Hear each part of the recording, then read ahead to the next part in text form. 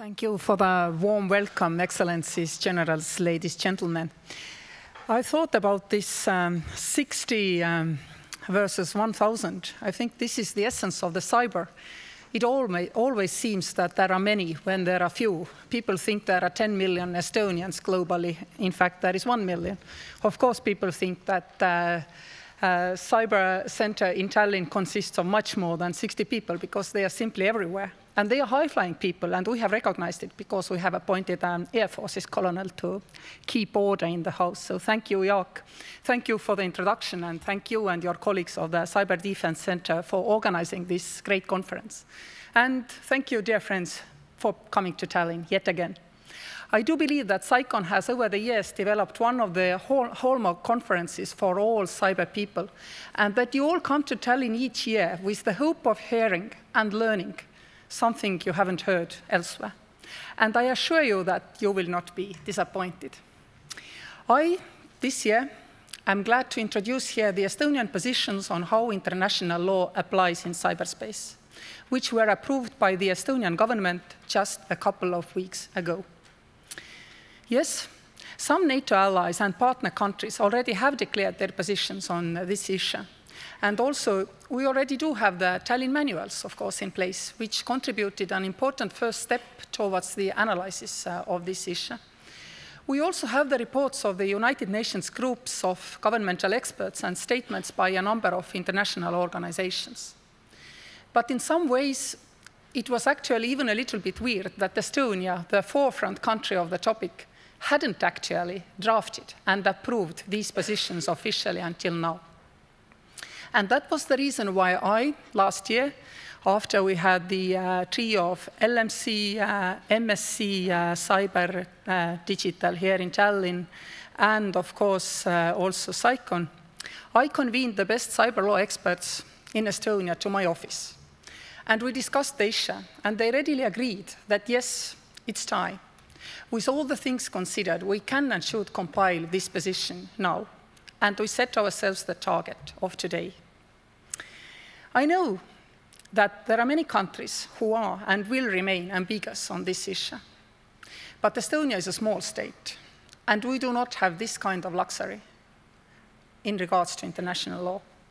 Because, as Lennart Meri, our first post-Cold War president, once famously stated, international law is the nuclear weapon of a small state. Before introducing Estonian positions on international law in cyberspace, I believe that the short explanation is in place why this all is actually so vital for us in the first place.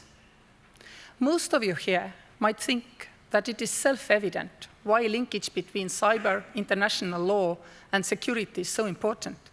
But if asked by a man on the street, and let's not forget that man is the end user of IT products, as well as part of the security that we all strive to create, then we must always remind the basics of security and international law. Let's take, for example, NATO and the conventional domain.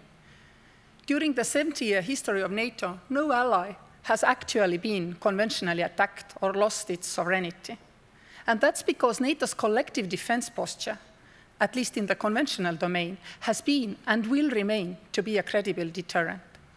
Nobody still dares to cross NATO as the consequences would be known, clear and devastating. And if we think of some of the basic tenets of the international law system, then yes, international law and organizations have not been able to end all wars and aggress aggressions. But everybody clearly knows that when you breach international law, it will be taken up, for sure, in the United Nations Security Council and it always has consequences, and therefore also acts as a deterrent. But that's only happening in the conventional domain. For some reasons, the same principles remain ambiguous in cyber domain, to say the least, although they shouldn't. Today, it is still possible for an adversarial country to carry out a malicious cyber operation, or a number of them, simultaneously, and get away with it or almost get away, since at least on attribution, a lot of progress has been achieved over the last years. But one of the reasons for this is that cyber still leaves a lot of gray areas, including on how precisely international law applies in cybersphere. International law stems from conventions, agreements, and custom, but it's still very much up to states themselves to define and to interpret that law. Therefore, the Estonian positions on application of international law in cyberspace is our contribution on further clarifying this issue and leading the way together with other allies. It's also something that will help our own cyber experts in everyday operations, in drafting our own rules of engagement for possible cyber operations. It might also carry some deterring effects, as we have now more clarity in how we perceive and react to cyber operations in the future. Ladies and gentlemen, the Estonian official position on international law in cyberspace is the following. First of all, as also many states and several international organizations have acknowledged, existing international law applies in cyberspace. Among others, the European Union, NATO, OECD, and ASEAN have made similar addresses. Estonia has constantly upheld this position. We do believe and state that both the rights and obligations of international law, including those stated in the United Nations Charter, do apply to states when using IT and communication technologies. And for that, we believe that the Tallinn manuals vastly developed academic understanding of existing international law. I would like to reiterate, when it comes to legal questions of do's and don'ts surrounding state behavior in cyberspace, the answer must be sought from existing international law. Secondly, states are responsible for their activities in cyberspace. Sovereignty entails not only rights, but also obligations. States are responsible for their internationally wrongful cyber operations, just as they would be responsible for any other activity based on international treaties or customary international law. This is the case whether or not such acts are carried out by state organs or by non-state actors supported or controlled by the state. States cannot waive their responsibility by carrying out malicious cyber operations via non-state actors. If a cyber operation violates international law, this needs to be called out. Thirdly, states must keep on strengthening their own resilience to cyber threats and disruptions both individually and collectively.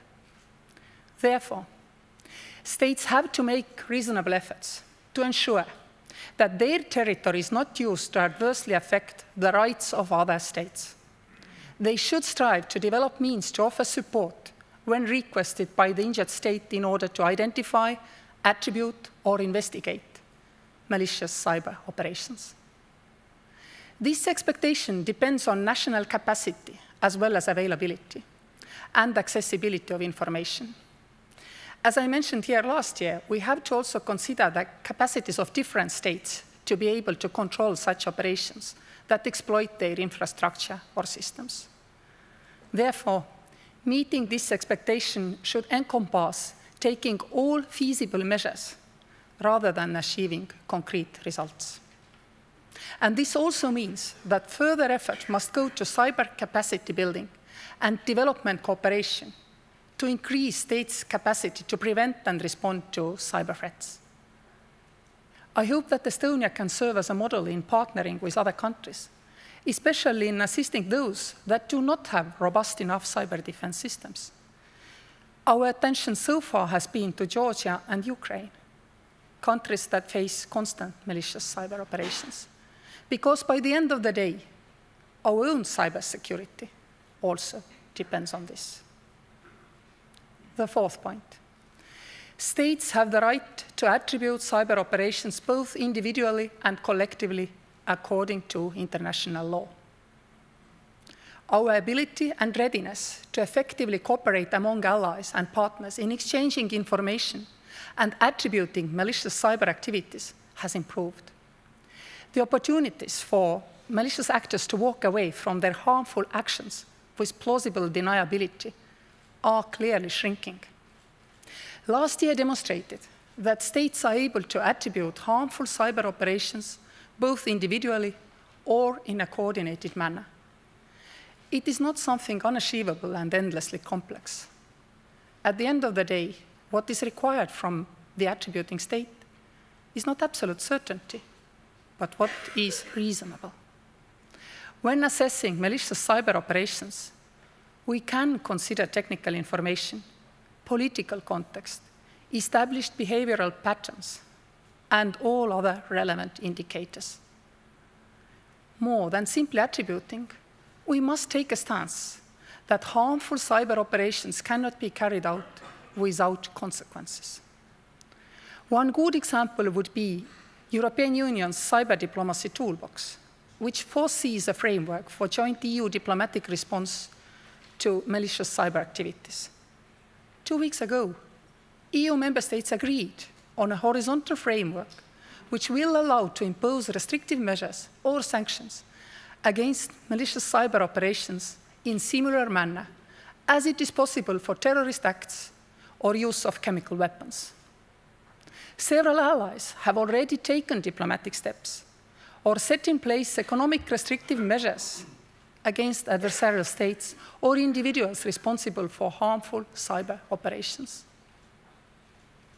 And now to the fifth and final point of the Estonian positions, namely, states have the right to react to malicious cyber operations, including using diplomatic response, but also countermeasures, and if necessary, the inherent right of self-defense.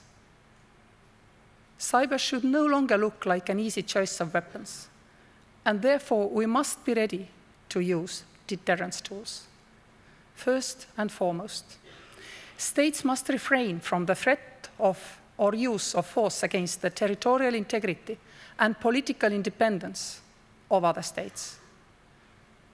However, we already know that cyber operations which cause injury or death to persons or damage or destruction of objects could amount to use of force or armed attack under the UN Charter. We here in Estonia are very much dependent on a stable and secure cyberspace.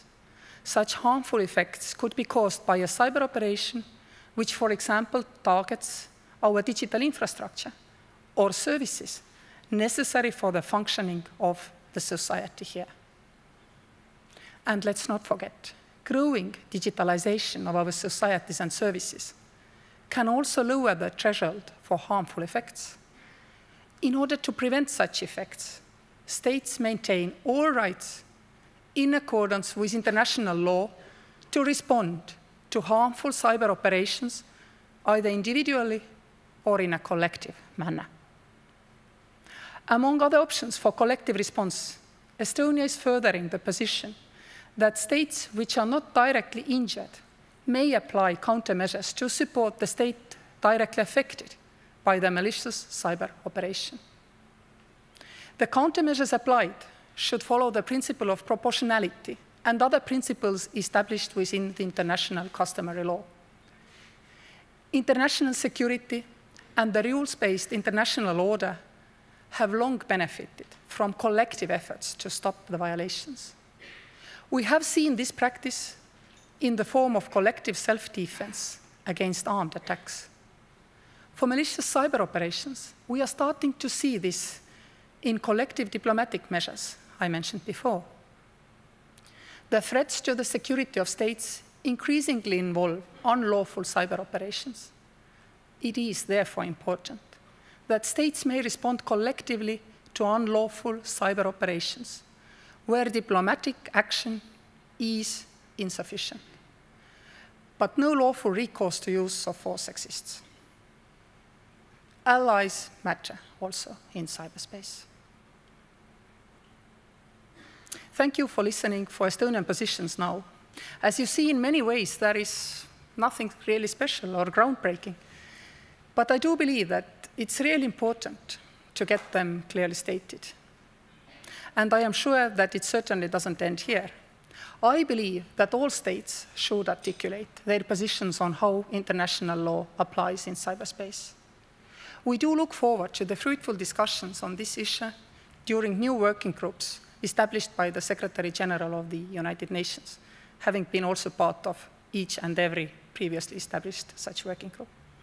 In addition to measuring the perception of existing law, We must collectively put our effort to implement those provisions we have already agreed upon, including norms of responsible state behavior in cyberspace, and call out those who undermine our efforts to ensure peace and stability in cyberspace.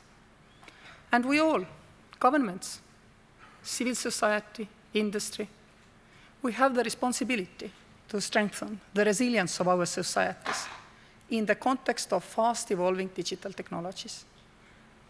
And there is actually nothing silent in all this, although the title of this year's CyCon would imply we have to be loud on this element of cybersecurity. Thank you all and have a nice conference.